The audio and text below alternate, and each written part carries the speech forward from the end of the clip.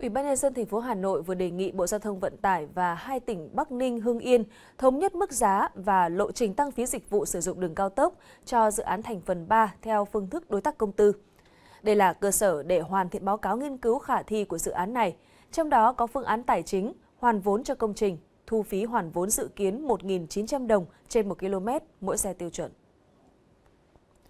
Theo đề xuất của thành phố Hà Nội, nhóm 1 gồm xe dưới 12 chỗ, xe tải dưới 2 tấn, có mức phí thấp nhất mỗi km là 1.900 đồng.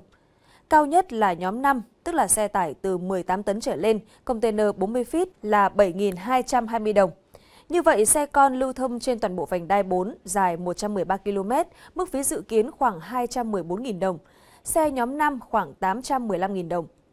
Mức phí các loại phương tiện được tăng 3 năm một lần cho đến thời điểm dự án hoàn vốn. Đến năm 2054, khi gần kết thúc hoàn vốn, mức phí mỗi km cao tốc lên tới 5.400 đồng với xe nhóm 1 và 20.520 đồng với xe nhóm 5. Khung giá sử dụng dịch vụ đường cao tốc vành đai 4 được tham chiếu các dự án thành phần cao tốc Bắc Nam phía Đông theo hình thức BOT giai đoạn 2017-2020 và các quy định hiện hành.